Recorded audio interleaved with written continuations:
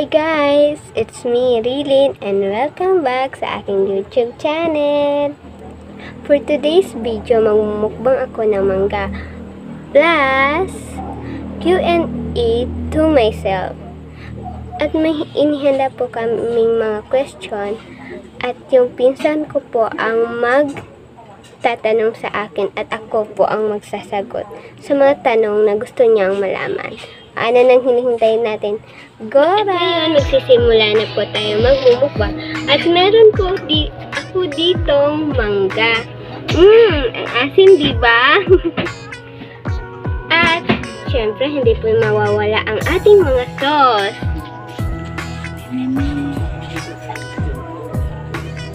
At meron din tayong grapes.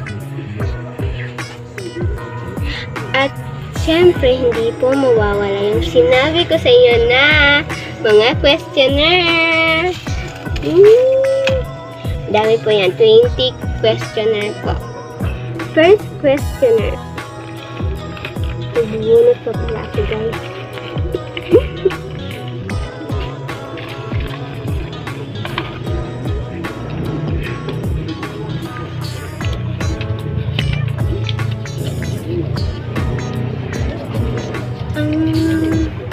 Sino ang best friend mo? Mm, sana may mapanood mo to.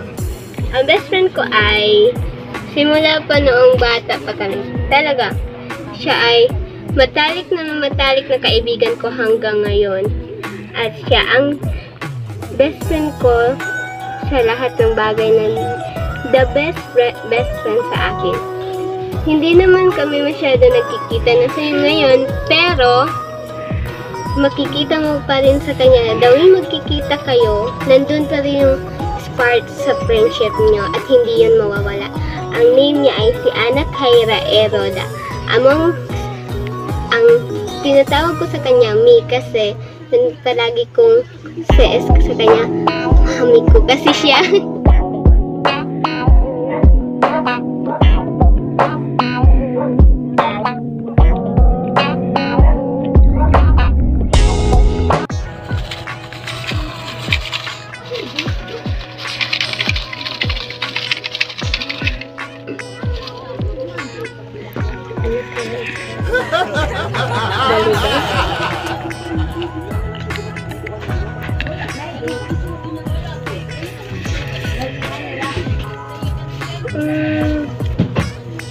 Ahem. Ano ang iyong naging inspirasyon para magpatuloy sa pag-aaral? Mm.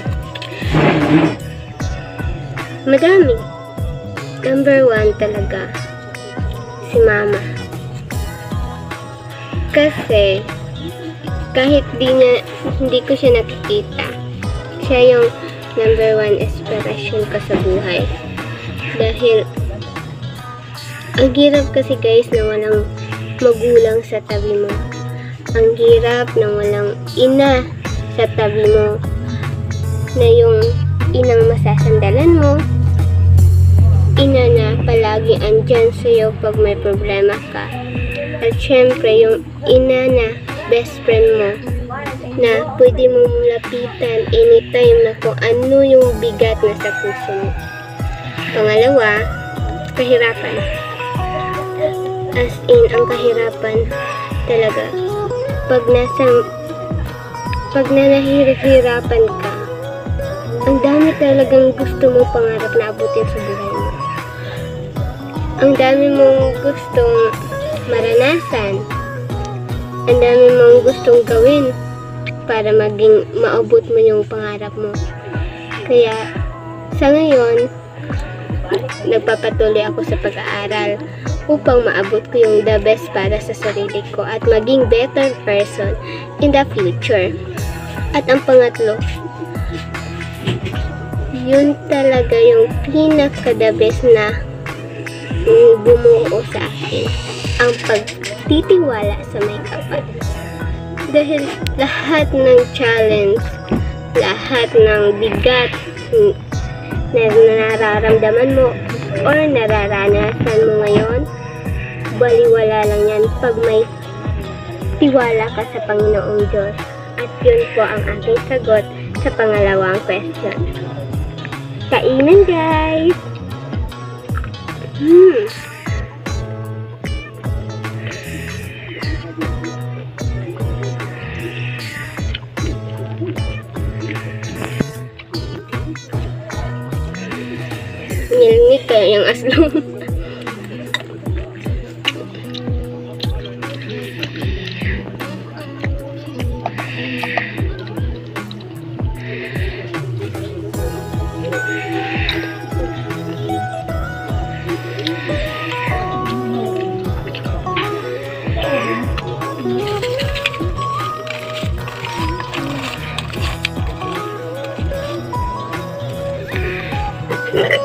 Excuse.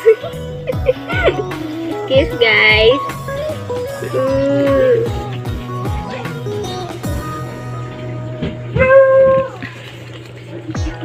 Anong pinakamalaking challenge mo sa iyong buhay? Challenge sa aking buhay. Pinakamalaking challenge. Nung always ko sige ka disgrasya. Always ko masakit as in ang pinakamalaking challenge sa kong kinabuhi sa una. Nabata pa ko. Kay kisa ko'y ganahan na always lang ka masakit. Always na lang ka maadto hospital. Pero Salamat gyapon ko kay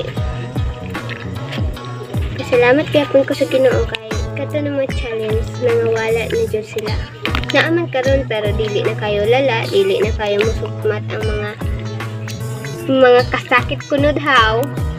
Kaya dako kayo jud ako pasalamat ni God kay kung wala jud siya dili na ko na malagpasan tanan challenge sa akong kinabuhi dili lang ka na naadjud pero maunang pinaka worst challenge ako kinabuhi ka na masakit ko.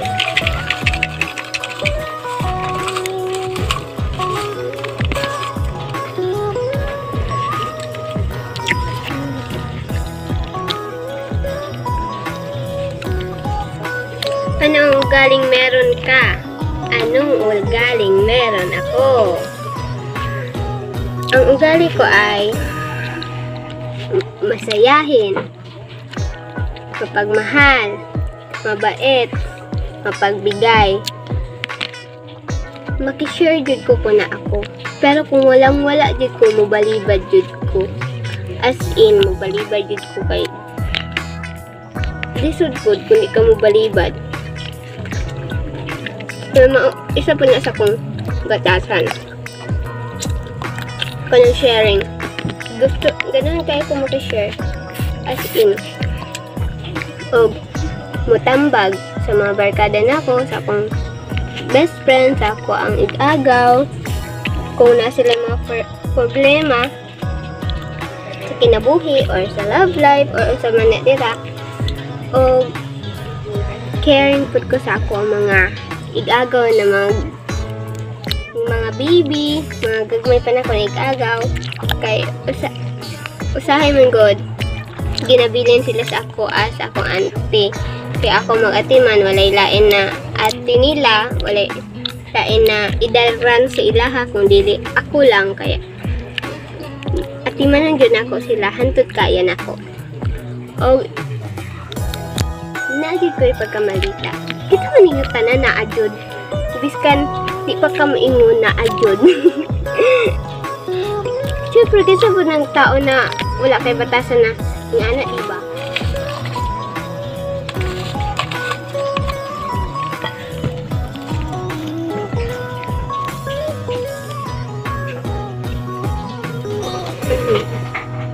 Anong talent mo? Hindi ko talaga ito ikakahiya. Mahilig ako sa drawing. Mahilig talaga ako. At pangalawa lang itong cook pagluluto as in. Pangalawa lang talaga. Pero, gusto kong gusto ko talaga na sa kusina ako. Kasi katong, yung noon, bata pa ako, mahilig talaga ako mag-drawing. Sumasali-asali ako sa mga contest. Pero, ayun nga, nagkasakit ako.